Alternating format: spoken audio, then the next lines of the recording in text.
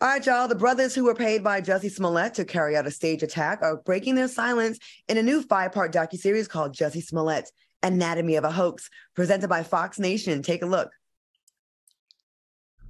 We were the ones that did it. Yeah, it was us.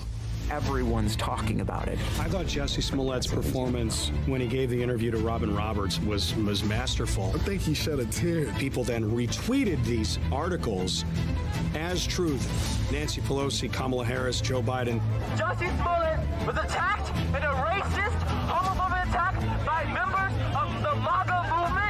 I know that this did not go down how Jussie is saying. And now I have to go down here and talk about a black man who had a noose around his neck and made the whole thing up. I think that he was looking for that civil rights martyrdom. I would not be my mother's son if I was capable of one drop of what I've been accused of. This dude crazy, man. All right, as you can see, our very own Al Reynolds is part of this docu series. What are your thoughts on this new docu series, and do you think this will further tarnish Jussie's career. Al, let's go to you first since you were part of this. Uh, listen, I got to thank you, Claudia, for putting me on this show because they saw me on this show talking about Jussie Smollett, and that's how I got tapped to do this docu series.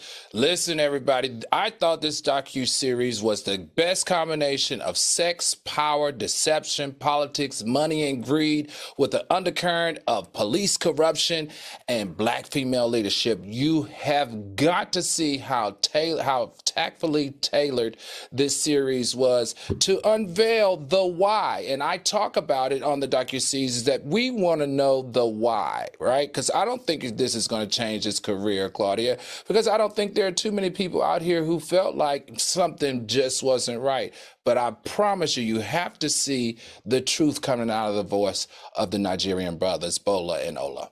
Okay. Uh, Q, what do you think about this? You know, looking at that little clip that we just saw, I really do have mixed reviews, but I'm really leaning towards I don't like it. Um, to be honest with you, I'm not interested in watching it whatsoever because, to Al's point, my mind is already made up. I don't need to get lost in the minutia of it. The Negro did it. Um, but there's a part of me that says he's already suffered a lot from it.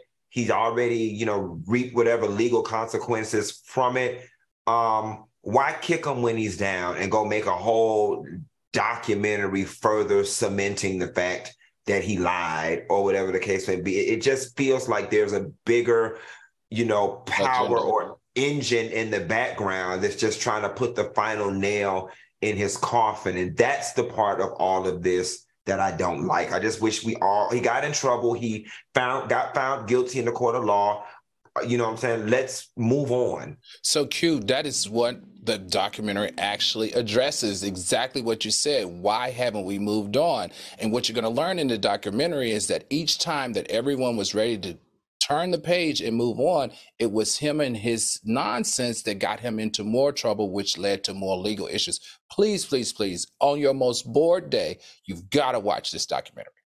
I'm going to say the part that I don't like. I'm going to definitely check it out I don't like those two brothers. It's like, you know, y'all were down with it. Some say there was some allegedly some kind of physical relationship with one of them or both of them or all of them, right?